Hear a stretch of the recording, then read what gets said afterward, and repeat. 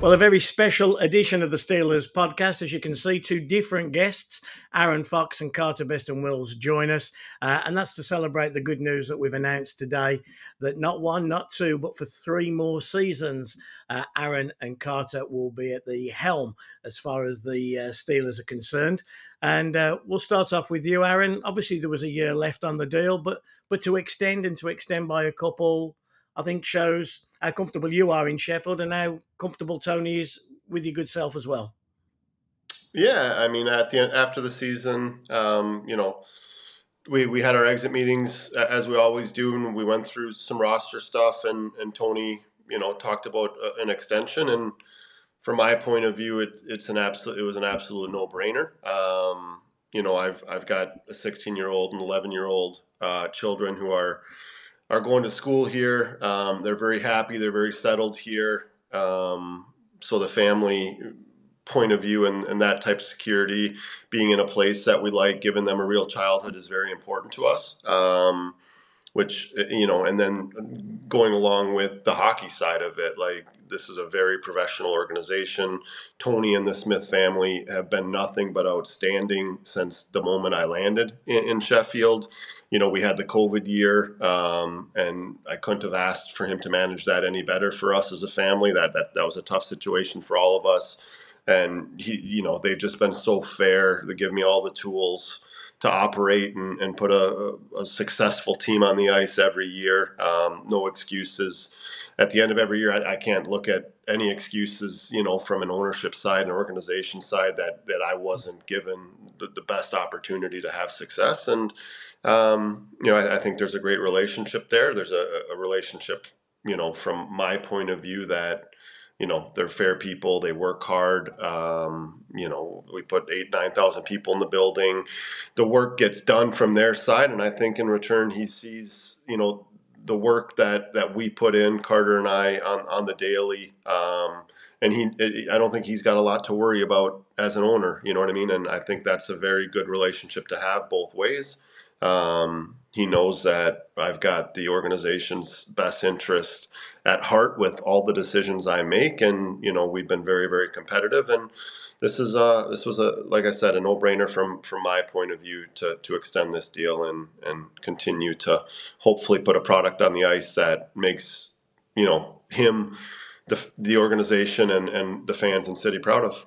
Yeah whilst you sit on top of that pyramid of the coaching team, Alfie, Mike, and of course the gentleman uh, also joining us, Carter, is is a huge part of that. And and the two of you work so I see it from behind the scenes. You you work so well together, and and Carter's role has grown, hasn't it? And and I guess from your point of view, important that he came back for that that same period as well. Yeah, absolutely. I mean, you know, Carter came here with me uh, five years ago um, we've uh, we've we've given him a, a new role. He's going to take the associate coach title um, moving forward, starting this year as well, um, which you know will give him a little bit more responsibility, give him a little bit louder voice in the room. Um, I know that uh, he's already probably chomping at the bit to delegate some some more duties to Mike when he with the responsibilities he has now. But yeah, you know, Carter Carter runs our PK full time. He's a huge asset to the organization and myself. Um, we were first in the league in the PK. I think we've scored six, uh, 12 goals um, each of the last two years in the in on the penalty kill as well. So um, he's just one of those guys that knows how I operate. He's not a yes man, which I think is also very important. This, you know, like we have we have heated conversations at times over. Um, some situational stuff that we may go through and and he's a hockey guy through and through and I respect his voice and it's uh, you need that and you need that in your in, in your uh, in your office as well. Carter let's just turn to you. Was there any question in your mind that it was a, a bad decision to come back for three years or was it perhaps a, an option to flee the nest and be a, a head coach or a, the associate coach's role was a was a nice if you like fix into the next into the next run of the ladder? Yeah, I, th- I think um, I was always, you know, for me, still being, I still consider myself young. Uh, it, obviously, uh, as far as the coaching world goes, but uh, it's my seventh year coaching pro, and I know Sheffield is one of the best places to be, especially uh, like overseas in Europe. And so I didn't take that lightly, but obviously at the same time, uh, I still want to take steps in, um, you know, for myself, uh, allow myself to grow. Um, you know, like Foxy mentioned, more responsibility and all that. I, I, want that as well. And this title, this job uh, title that that came across as an opportunity was a, was a good opportunity for me to be able to stay in a place like Sheffield uh, and and also give myself a little bit more responsibility and grow a bit and work with uh, continue to work with Foxy, which I have for in, in for seven years, um, whether as a coach or as a general manager, and uh, continue to uh, be in a place like Sheffield where I know, um, you know, Tony and Sean and the whole ownership will give us the tools to to compete, and that's really important because uh, you know not not everywhere is like that. So uh, there's a lot of things that went into this, but Sheffield's a great spot to be, and I know that, and uh, we're surrounded by great people there. Um, and you know, it's been five years for me in Sheffield now, so it's kind of you know it's kind of turned into to my home as well. A lot of coaches are very protective aren't they? The, head coach, they want to be very protective in their work and they, they don't delegate well. Aaron does delegate well across the board, across all, all, all, the staff. And that's obviously then gives you the opportunity to breathe and become your own coach yourself. Oh, absolutely. I, I, it's That's uh, part of the reason as well. Like I said, you mentioned working with Foxy another three years. That's that I enjoy it. And it's not. I, I, have real responsibility that he gives me and he trusts me and that's huge as well um, and you know that's that's definitely goes into part of this decision for sure. Um, but you know, I think um, I'm just looking forward to being able to work with him, Mike as well. You talk about delegating. Mike has you know a lot of responsibilities. Us three spend six to seven days a week together in the office, and it's you know we it's not a lot of hard work, but we have a good time as well, and uh, we enjoy each other's company, and that was important too. So there's a, there's a lot of factors that went to this decision, but um, you know I'm, I'm I'm I'm happy with the where we're at and how we're shaping up. Aaron, it seems like five minutes ago we first spoke, and then I remember you coming into that that meeting in the office with with Sean and Tony and Mike. Um, before that that Glasgow game. But I, I, checked out today, 302 games behind the bench now, um, second only to Alex Dampier, 364. Um, 214 wins, just 13 wins shy of a club record. I mean, it's going to become an, an Aaron Fox legacy here, and and Dampier won in '96, Blaisdell won in 2001, you Grand Slammed in, in in 2024 do you do you feel that there's there's there's more than just you're a coach, general manager of this hockey club? There's a there's a legacy that you're you're developing here. You're going to become the highest, um, you know, the most senior coach we've had, the most winningest coach that we've had. It's there is a legacy here, and, and that that's part of perhaps what you see in the future. Yeah, I mean, I didn't even stat. I mean, those are new stats to me, um, Simsy. I'm obviously not focused on the past and more focused on now the future. Um, you know, we've, you know, we we got we got over the hump last year and and you know got the goals sorted that we needed to get sorted and we know that this league is going to be as good as it's ever been this year. You look at what some other teams are doing around the league, and they are they are loading up, and um, you know, with what we've announced currently and what is still to, to come, you know, we, we we're gonna we're going to have a great core group of guys back, and, and we'll have added some new pieces as well um, to that group. And the league's going to be outstanding. And for me, it's you know uh, we I want trophies. You know the win the win totals mean mean only a, a small part of um, that legacy. You know it, it's the trophies and you know, since we've got here, there's there's been ten trophies available. You know, Belfast has five, we have four, and Cardiff has one, and that's how I have to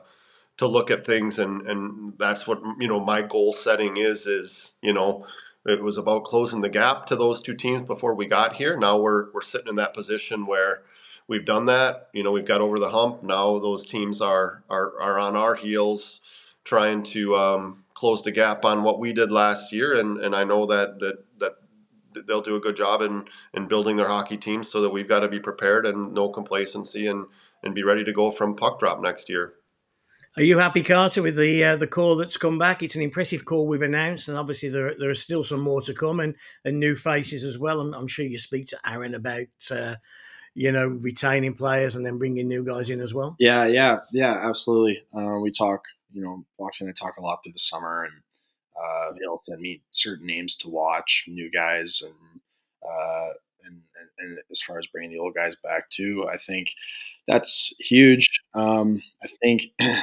that we had a really good culture uh, that I think we've been building over the last five years um, as coaches in the room and all these players. And this year, obviously, if you look at how it finished, I think it all came uh, to fruition there. But um, with with how we're shaping up, I think uh, I'm, I'm thrilled with with how we're looking and you know just excited to get going and see all the familiar faces that I haven't seen in a few months and meet some of the new ones as well. And um, you know I can't I can't wait to get going again. It was a it was a fun it was a fun team uh, to be a part of last year and uh, I'm, I'm hoping for more of the same this year.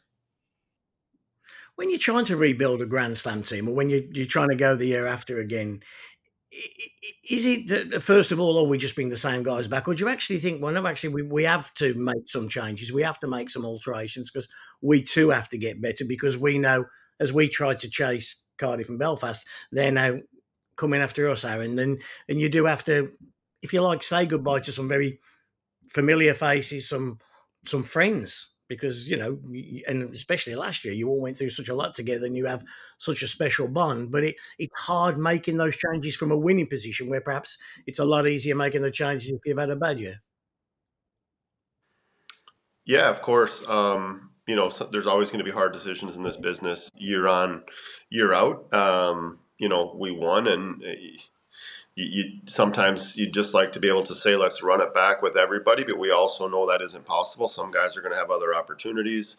Um, you know financially sometimes it's just not going to work out with what you're going to have available to pay guys with what what they might where, where they might see themselves. And then in, in this in this country too when you have 15 16 imports and you've got to house them all and you have to the visas and the cars you know there's the apartment situation comes into play. So there's always uh, you know different things that that come come into this when having to make some of those hard decisions. And um, you know like like we've said before like there isn't a guy that I'll uh, I'll forget from that group from last year. Like that that'll be a, a, core memory moment for me for for my entire life. You know, every name that that that's on that cup and that won those trophies with us, I will remember. Um, you know, but like you said, there are you know there are things that maybe we needed to still look at and try to find ways to get better um, in in certain areas and. Um, you know some decisions are out of our hands in this in this as well and then some of them are, are just harder decisions that we you know we have to make. Yeah. You talked about players having other opportunities. When you're in a grand slam i would imagine there's a fair few pairs of eyes. Look at look at yourself. Um, was there opportunities for, that were offered and, and, put in front of you or were you so settled here that that was perhaps something that you you, you turned away from yeah, I, I, take. There's phone calls I take. Um, you know what I mean? It's uh, I got some really good relationships in this business and in lots of different places. Um, you know, and uh, you know, are there aspirations to play in to coach in higher in higher leagues at some point? Yeah, you know, there there obviously are. Um, you, you never want to just fully be in that position where your things get stagnant or you know what I mean. But I, I don't think you'll ever see that from me here. Um, like I said, I have two young kids that need a childhood, and um, security and schooling is is very important. And if I'm gonna pull them out of this environment and and put them somewhere else, it's gonna have to be for an extremely uh, high end position. Um, I'm not gonna move parallel and go to Austria or go back to the East Coast League or you know what I mean. Go to places like that where uh, it's it's just not going to happen for for my family. So um, you know, we we moved around a lot when I was when it was just me and my wife or me and my wife and my son but now when they're older and, and have responsibilities and school's important and, and those types of things that's that's just got to be our priority. Carter where's the main challenge come from? You uh, you study all the signings of all the teams coming in. Um, cardiff seem to be uh, giving it a good kick of the can, as do Belfast. And even that little team down the road seemed to be uh, signing some pretty good um, players. Where do you see the the obviously not from them, but where do you see the challenge? Uh, yeah, I think it's going to be.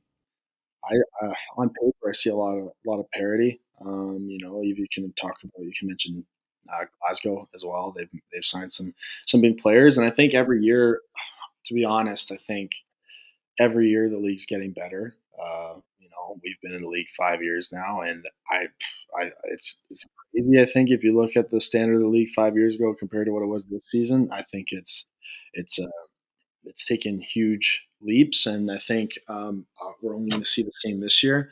Um, and you know, you you mentioned to kind of build off what Foxy said too. You mentioned about building a Grand Slam winning team. Everyone around us is gonna is looking to get better too. So I think we have to we have to do the same. Uh, and I think I think you know you'll see that. So I don't think there's any uh, one one uh, particular challenge. I think it's just this league. The challenge every year is consistency, and that's kind of what it comes down to. And uh, we have a lot of strong looking teams. I guess in in the end, it's always it seems to be who could uh, be most consistent through eight months. Aaron, since we last spoke, Huesler and Ciampini have been um, confirmed two very important cogs in the wheel. Yeah, absolutely. Um, a couple core pieces, you know, different players. Uh, obviously, um, use is is pure speed and creates problems for for teams on the outside, and real good below the goal line puck possession guy. And, and Champ is is your kind of your Swiss Army knife type player that just kind of does it all. Um, you know, can drive play whichever line he's on. Great on the on the power play, unreal on the PK, um, and just a one of those character guys that is a, is a glue guy in the room as well. Um, so two huge pieces. Yeah, in Coventry, uh, Carter, you're going to look across to your left hand side when you're on the bench uh, there with Aaron, and you're going to see Zach Venell, who somebody you were close to uh, in Sheffield. Uh, the super fella did us a terrific job and uh, decides decides he wants to get into coaching. Yeah, yeah, thrilled for him. Uh, he kind of expressed that to Foxy and I near the end of the year. wasn't fully. Um, I don't think he fully knew for sure what he was doing, but he, he was looking at that and for that, that opportunity to come across and him to take a jump at it. I'm I'm stoked for him. He's uh, in Calgary as well, where I am this summer, and uh, I reached out to him just congratulating him. I think we're going to get together uh, to catch up quick, but uh, couldn't be couldn't be more thrilled for him. Um, it'll be it'll be good to see him across across the bench, and um, be good to compete against him as well this year. But like you said, for us last year, awesome guy was awesome in the room uh, did whatever we asked of him, and um, you know, and talk about being part of that team that um, that team last year. One of those guys we'll never we'll never forget. But uh, at the end of the day, even though he's uh, he's on the Blaze, absolutely uh, thrilled for him, and uh, wish him wish him the best. I know perhaps Aaron, it's easier when you're in a winning team, but but that position he came in to fill when you you're not playing for so long. Um, a bit like Tony, I, I, guess. He's, you have to be a special kind of character, and both Tony and and Vinny were um, were outstanding in that, weren't they? They, they were there when needed, but uh, supportive throughout the whole course.